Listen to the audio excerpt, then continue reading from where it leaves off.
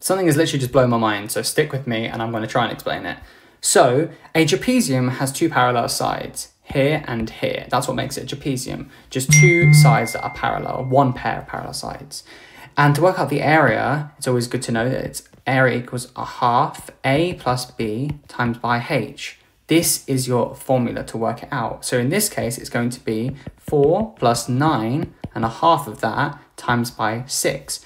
Well, adding this together is going to be 13 over 2 times by 6, which on the calculator is going to be 39 centimeters squared for this question. Okay?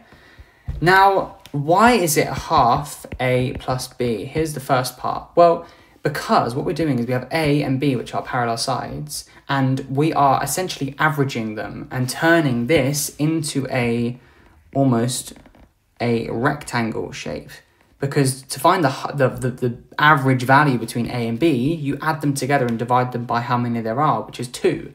That's why we do it. So we're turning this question into another question, which is basically base times height.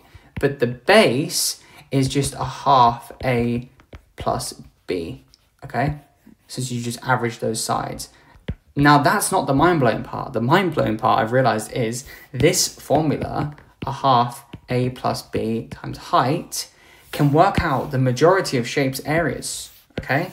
because we've just proven how it shows to work out the area of a trapezium, okay? And we've seen how it works out the area of a rectangle just here, okay? Because if you had a rectangle and this was 30 and this was 30, well, a half a plus b would be 30 plus 30 divided by 2, which is going to be 30 again, so that would work. However, it also works for a triangle. Why does it work for a triangle too? Well, because technically A is at the top and B is at the bottom. A is zero at the top. You don't have a side length there. And what happens in the formula? Well, if A equals zero, you're just going to end up with a half B times height. B being the base, a half base times height, which is the formula for the area of a triangle. In other words, this is a overpowered formula that we should be memorizing as it tells you how to work out the formulas, the areas for any shape, even including parallelograms like this if you have the perpendicular height